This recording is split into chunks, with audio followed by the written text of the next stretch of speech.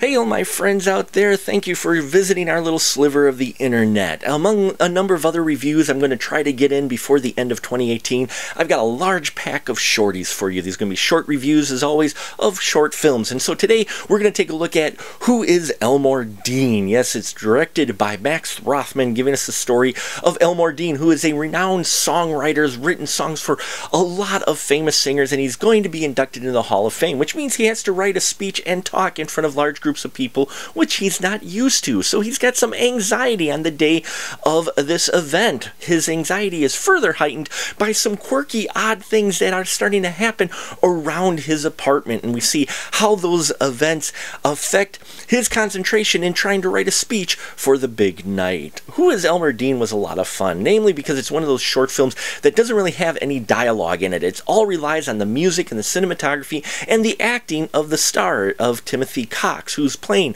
Elmore Dean in here, and I really enjoyed that. The editing in here really helped tell the story and set things up again without exposition and such. And then you've got the cinematography here by Olivia Kimmel, who I I loved how they moved around the apartment and used some old school effects in here for the odd things that are happening around his apartment. Uh, add on to that Timothy Cox's emotional performance of being able to emote the anxieties, feeling and, and the things that are going on inside his head without using words. And yeah, you've got a solid short film here that shows you what you can do uh, with no dialogue if edited and uh, you know put together correctly, and you choose all the right elements, which they did here in Who is Elmore Dean. So there you have it, folks. Who is Elmore Dean? I'll put as much information as I can down below. I'm not sure if this is available for public consumption or not. I'll put as much as I can in the body and description of this uh, video. I want to thank you for your support. I hope everybody has a safe holiday holiday and a fun new year.